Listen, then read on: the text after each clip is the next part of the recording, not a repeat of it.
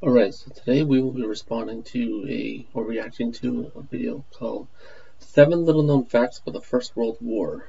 So we're going to see uh, what they have for us and see if there's anything I can add to it, or maybe I get to learn something new. So let's dive right in. The First World War was a turning point in history. Its origins lay in the days of glorious empire but was fought with the technologies of the future, such as tanks, aircrafts, and submarines. Popular history tells the story of World War I being confined to the mud, of static trench warfare, and mass slaughter as men went over the top, but there was much more to this devastating global conflict. Here we look at seven insane facts related to the Great War fought between the Allies and the Central Powers.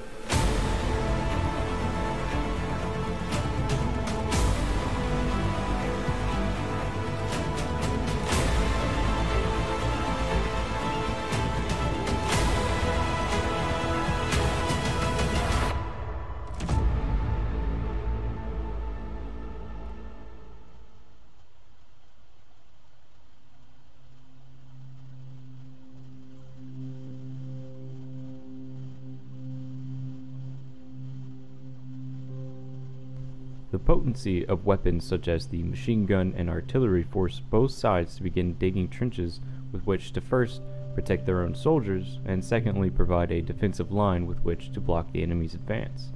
Very quickly, both sides in Western Europe tried to outflank the other, forcing them to keep extending the length of their trench network until they comprised approximately some 25,000 miles in total. These composed a front line supporting and linking trenches that reached from the English Channel down to the Swiss border. The ground between opposing trenches was known as no man's land, for it was here that much of the killing would take place as one side would go over the top and attack the other. Often there was very little in the way of cover in this area, and so when particularly heavy shells exploded, there making large craters, it was not uncommon for efforts to be made to capture them, allowing one side to get closer to the enemy during an attack. British poet Siegfried Sassoon wrote, when all is done and said, the war was mainly a matter of holes and ditches.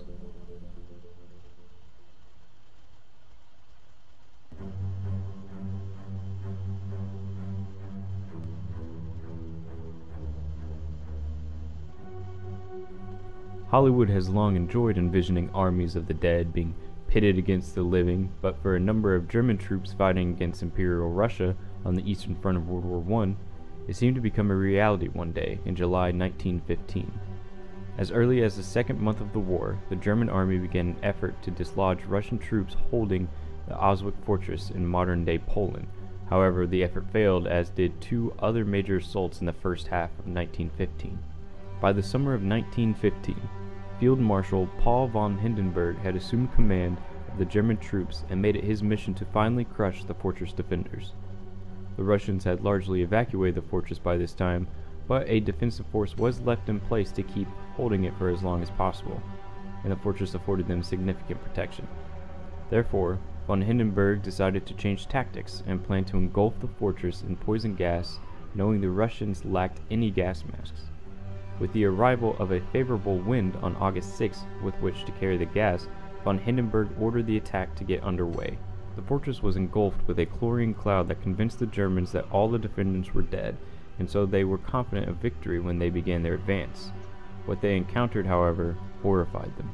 Not all the Russians were dead, and those that were still alive defended their fort once again. However, the gas had left many of them covered in blood and blisters all over their bodies.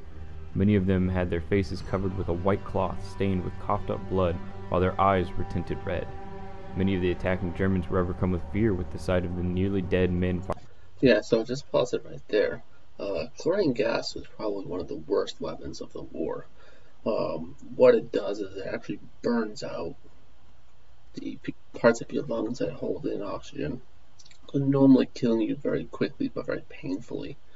If that doesn't happen, it can actually terribly burn your skin, uh, your eyes, nose, throat, it's supposed to be extremely painful, and those who die are probably the lucky ones compared to the survivors, although survivors are often uh, not too common in this type of warfare.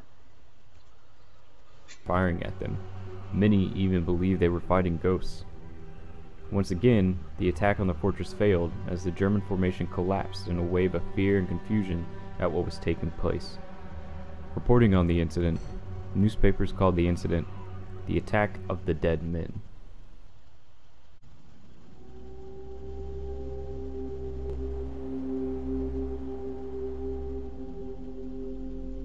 War has long been a breeding ground for superstition. With so many men getting killed, their survivors would often be left wondering if there was some higher force at work protecting them, and if they could control that force somehow.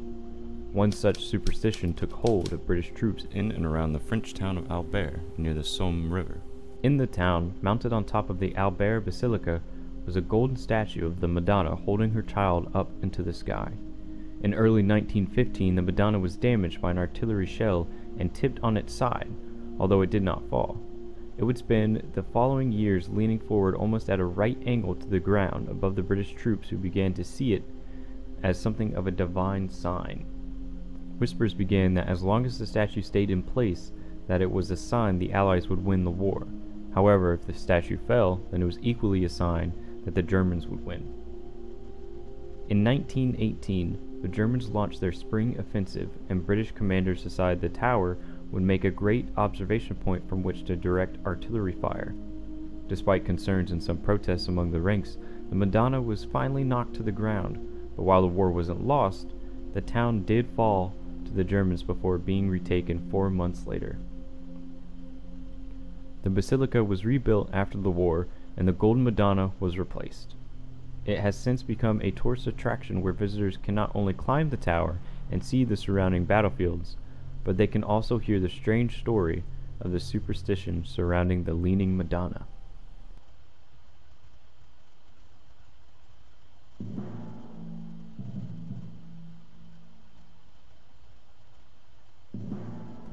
The First World War has been described as one of the first technology wars, and that whomever had the best technology had the biggest advantage on the battlefield. The machine gun gave one soldier the ability to kill hundreds of enemies. The aeroplane could reveal enemy movements and direct Allied artillery with extraordinary efficiency, while at sea, the submarine could threaten even the most powerful of enemy battleships thanks to its key feature, its stealth. The British Admiralty was famously disdainful of submarines in the early days, with Admiral Sir Arthur Wilson describing them as underhand, underwater, and damned un English. However, the British were not ignorant of the effectiveness of these submarines and began an extensive building program to give the Royal Navy a powerful submarine force.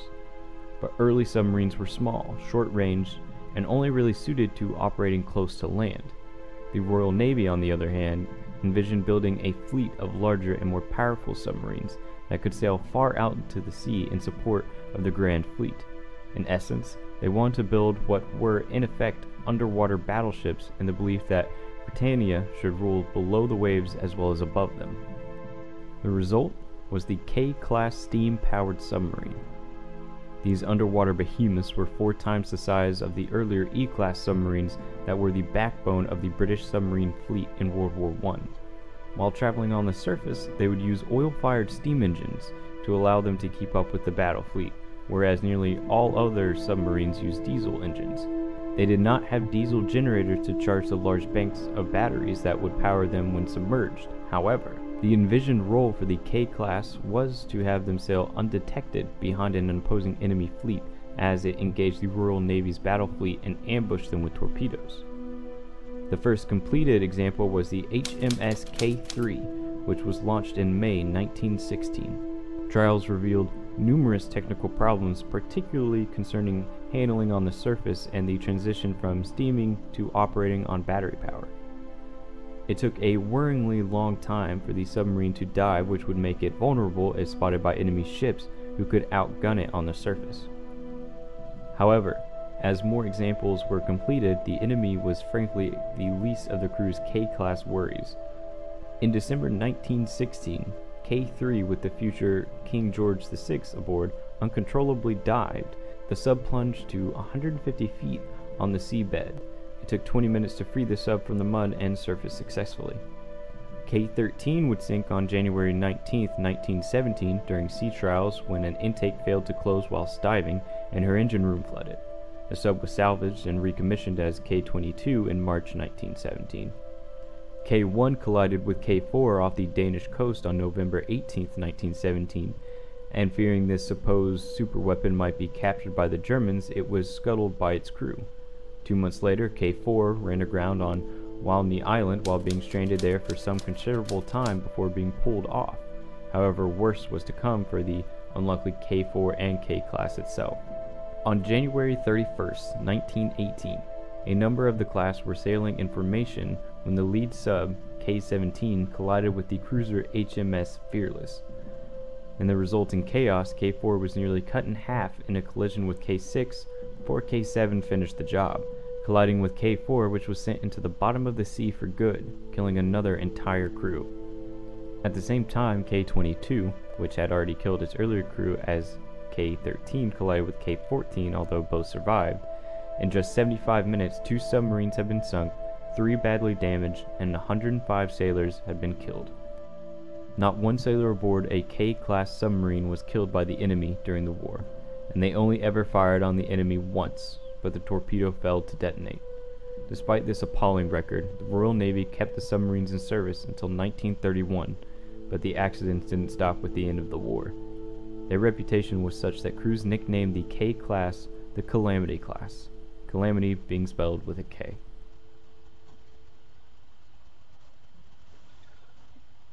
The interesting thing with World War One is that there were so many new technologies being used.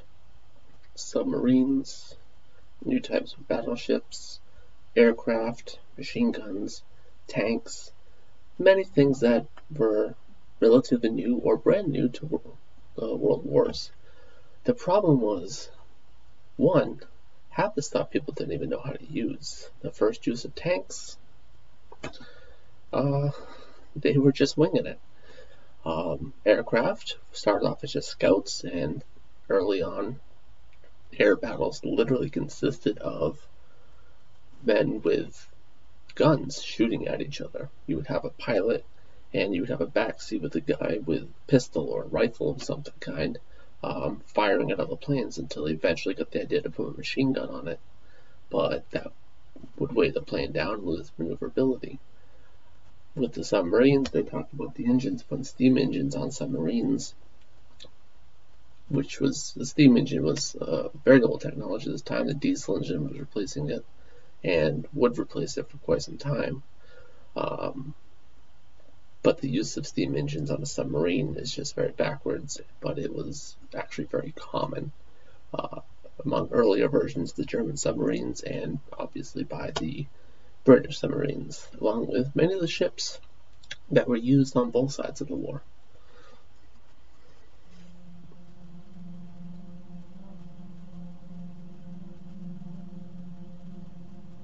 Despite some early misgivings, military commanders quickly embraced the aeroplane as a tool of war, and the Royal Navy was especially enthusiastic. They soon began looking at ways of taking aircraft to sea to support the fleet as well as fitting floats to aircraft so that they could be raised and lowered in and out of the water by a crane on the ship. They also built ramps atop the guns of battleships for the planes to fly off from.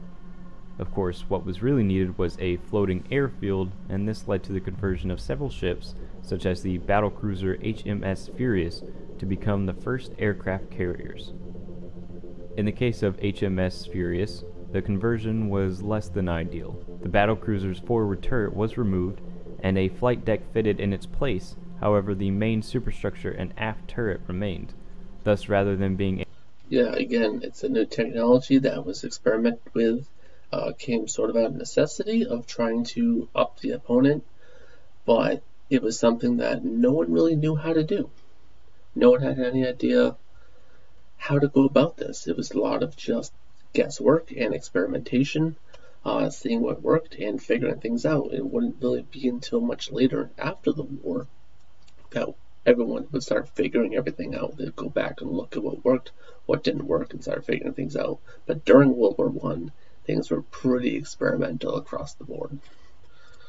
A true flat top, as carriers would become known, pilots landing on Furious had an immense obstacle in their way just before the flight deck, which they had to contend with when landing. The first pilots were expected to approach the ship from astern, fly alongside it, and once they passed the superstructure, sidestep onto the flight deck. After the conversion was completed, trials began in August 1917. On August 2, 1917, Squadron Commander Edwin Dunning successfully accomplished this daunting feat by putting his Sopwith pup down onto the deck and in doing so became the first pilot to land on a moving ship.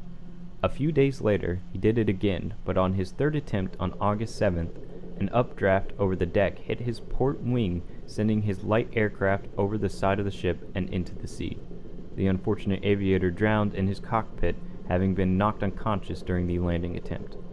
It was clear this method was unsatisfactory, and the ship underwent another conversion to have the aft turret removed and another flight deck fitted. A gantry with vertical cables hanging down to the deck was fitted to prevent the aircraft landing on the aft deck from plowing into the superstructure, but gases from the ship's funnel disrupted the air over the deck, which was potentially deadly for the rather light aircraft of the day. Consequently, the decision was made that Furious would primarily function by launching aircrafts which then have to land on the shore or ditch in the sea near the fleet once their mission was accomplished. This allowed Furious to carry out the first airstrike launched from an aircraft carrier on July 19, 1918. After the war, Furious underwent a major rebuild to remove the superstructure, and at last, the vessel became a true flat top. Furious served throughout World War II and was withdrawn from service in 1945.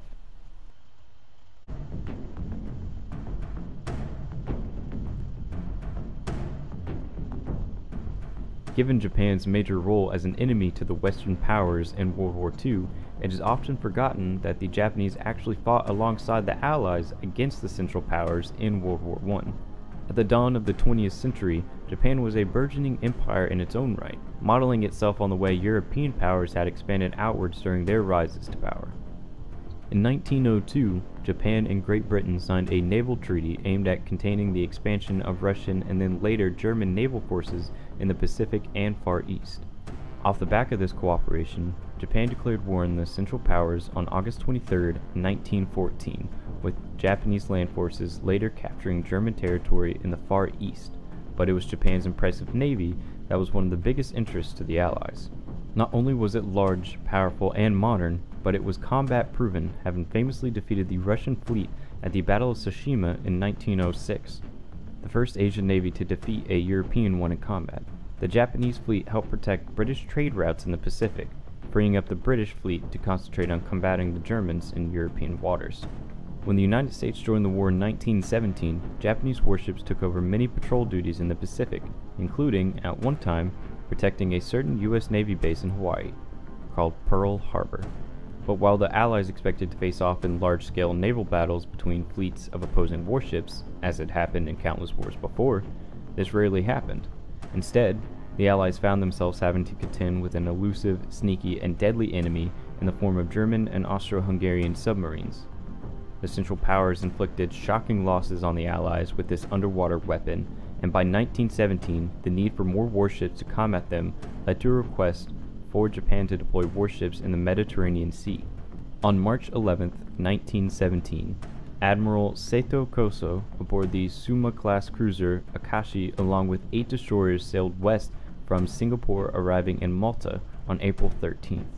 Known as the Japanese Navy's 2nd Special Squadron, the Asian fleet provided escort for a number of Allied convoys, earning the respect of their European counterparts. Two of the squadron destroyers were torpedoed by enemy submarines, but despite heavy damage and loss of life, they remained afloat. Sadly, the respect of the Western Allies did not last long after the war. In fact, the United States was alarmed by the effectiveness of Japanese naval forces, believing they could threaten American interests in Asia and the Pacific, and so made efforts to limit Japanese naval strength in the post war arms limitation agreements.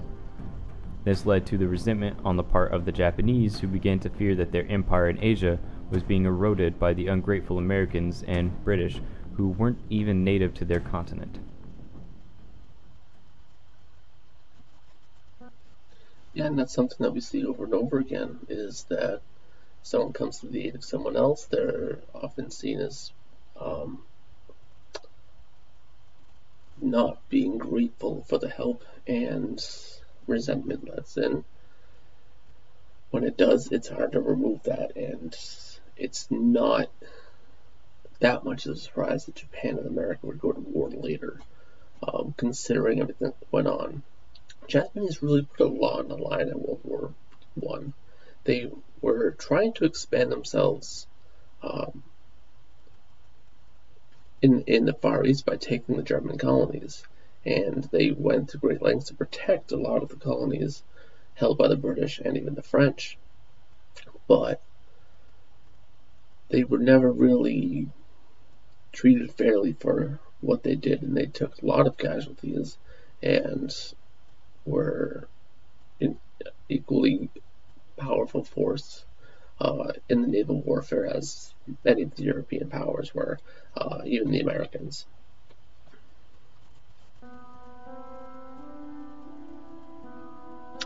Oh, this is good.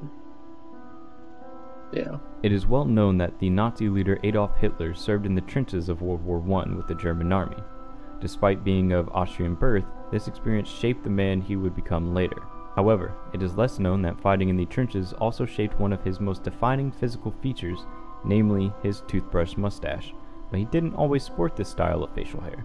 In fact, when he joined the army in 1914, he actually sported a style of mustache known as the Kaiser mustache, which grew out past the corners of the lips and was styled upwards, mirroring, as the name suggests, the German Kaiser. However, as poison gas began to see widespread use on the battlefield, Hitler, like his comrades, was expected to carry a gas mask, but the long mustache got in the way of it fitting safely on his face. He was therefore ordered by his commanders to shave off his mustache, something which he obviously didn't relish the idea of. He therefore decided to restyle it to the now familiar toothbrush style which had been introduced to Germany by American businessmen and travelers in the years leading up to the war, keeping it until his suicide in his Berlin bunker in 1945.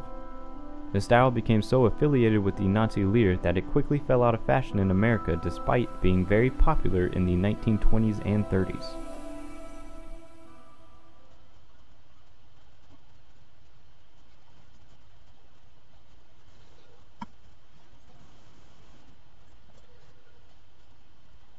So yeah, they, they covered a lot of good points, a lot of interesting things in that video. Um, Hitler's mustache, I did know about that, and we actually do see that a lot of men who fought in the wars and were older, uh, usually 50s and 60s or older, kept the mustache till they died, even into the into the 60s. Despite its connotation, it really wasn't until later that it became considered more offensive.